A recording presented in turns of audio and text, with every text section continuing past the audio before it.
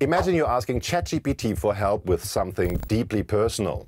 Now, picture that exact conversation showing up in a Google search. That's exactly what happened. Some ChatGPT conversations were publicly visible online. In a few cases, users could even be identified based on personal details they included in the chat. So, how do you know if this affects you? And more importantly, how can you use AI chatbot safely? But first, how could that even happen? OpenAI ran an experiment to make shared chats easier to find, even through search engines like Google. That's what an OpenAI spokesperson said. Here's the catch. Users didn't realize that when they clicked share and created a link, that link could be indexed by Google. That means anyone could stumble upon it, even if the chat was about something private. In most cases, the person who shared the chat stayed anonymous, but not always.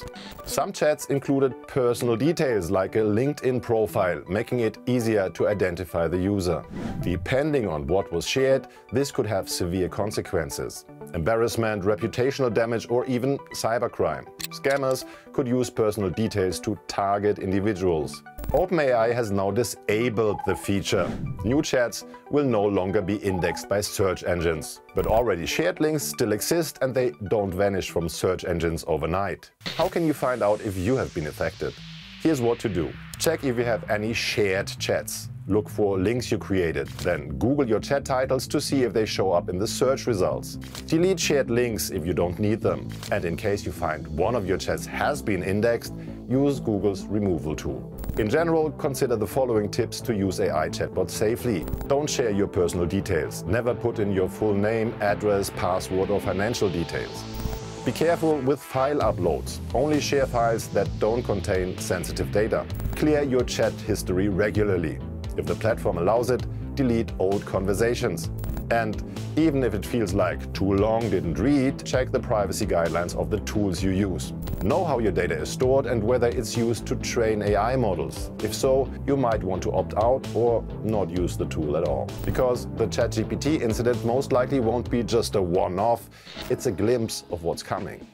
OpenAI's experiment is part of a much bigger shift. AI is changing how we interact with the internet. Whether we like it or not, more and more online content is now created partly or entirely by AI. Millions use AI chatbots as a search tool. Google shows AI-generated summaries instead of linking to original sources. That means fewer people click through to the actual website. This is changing the way we navigate the internet in a fast way. One tiny example. Those who publish written content online need to write in a particular way so that AI will pick it up and feature it.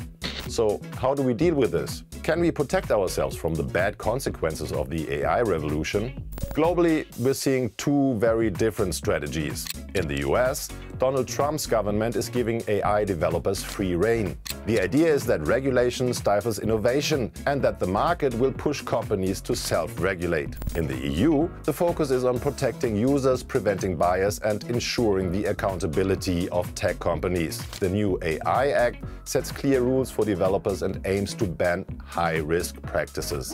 What do you think? Should AI be more tightly regulated or should innovation come first?